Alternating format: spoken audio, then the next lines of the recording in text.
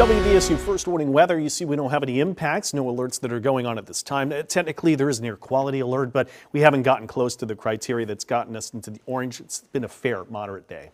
We got Children's Hospital Cam looking at Loyola U in the distance. Let's start with WDSU first warning weather Doppler radar.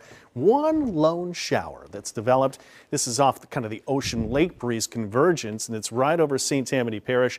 We had a little lone shower southwest of Terrebonne Lafourche parishes earlier. That's out into the outer marshy areas. Here you can see right outside of Florenville and Maud, that shower. It's making its way right over I-12 right now. You can even see that's going to be over. Let's see what road we got right here. State Route 434. And if you're in that area, that's about the only rain we have found today.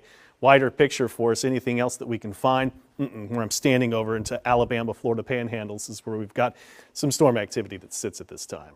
Let's look ahead into the forecast for real-time temperatures, and we're standing at 94 both lakefront and here, 90 Slidell, 94 Bogalusa, friends and neighbors, coastal Mississippi, 92, 89. Dew points still to an area where we feel it's okay. A lot of part of the other country, we would say dew points like this, they'd be it's awfully humid. And the heat index isn't too much higher from those actual air temps at this time.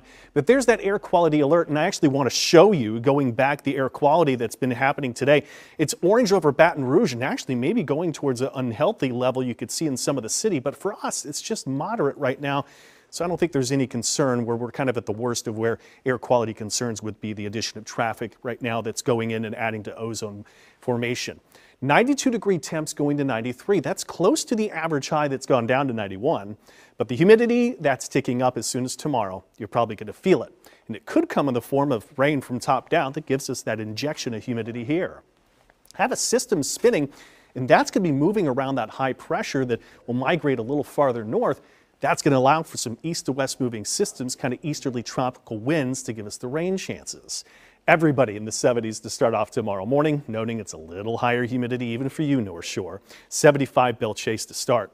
Could be early morning hours that the first showers develop after that retreating system moving east-west brings in a couple isolated, widely scattered showers and storms, but you see where most of this rain's forecast? South of I-10 right now. If you're in the North Shore, I don't have a whole lot for you. Got about a 60% chance of the rain right along the coast, 30% chance I-10, I-12 corridors, and a 10% chance north of there. Top temps from around 89. Cloud cover noted that's going to hold down to the south shore, but 95 north shore. And the dew points will go up. I think we will notice the humidity. That's if we get that little bit of rain.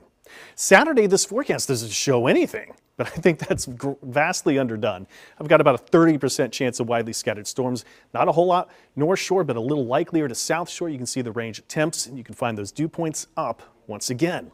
But if I extend that forecast out, this high pressure moving north allows systems to kind of rotate through east to west. There are some indications tropical wave may enhance some rain chances middle next week, Wednesday, Thursday.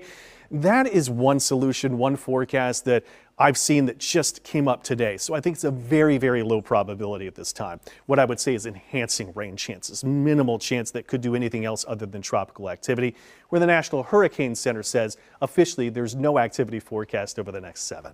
Speaking of the seven day forecast, a little higher humidity tomorrow, a little bit of a rain chance, more widely scattered storm chances through the weekend, and temperatures not too bad all the way through as well.